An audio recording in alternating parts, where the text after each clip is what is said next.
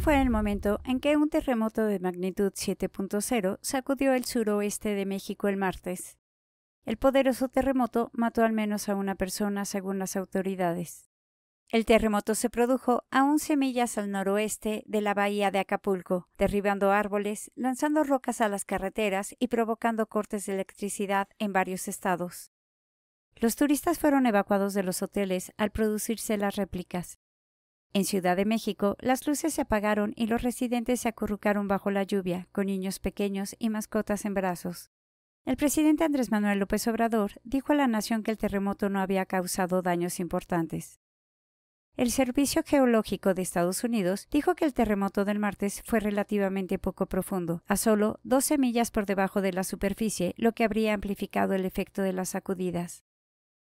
La empresa estatal de electricidad de México dijo en un comunicado que 1,6 millones de usuarios se habían visto afectados por el sismo en Ciudad de México y los estados adyacentes.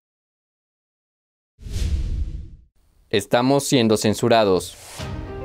Hay noticias que YouTube no quiere que sepas. No tienen la intención de que veas la verdad de lo que está sucediendo. El 90% de los medios de comunicación son controlados por seis corporaciones. Su intención es mostrarte la imagen del mundo que ellos representan.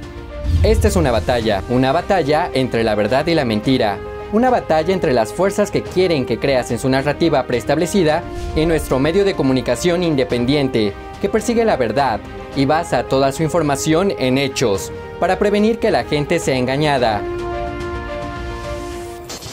Ahora hay temas que no podemos reportar libremente en YouTube. Así que encontramos una nueva plataforma de confianza para mantenerte informado. Sigue nuestro noticiero de la noche sin censura solo por Epoch TV en la página web de Epoch Times en español. Encontrarás el enlace en la descripción. Gracias por su apoyo y juntos hagamos que la verdad salga a la luz.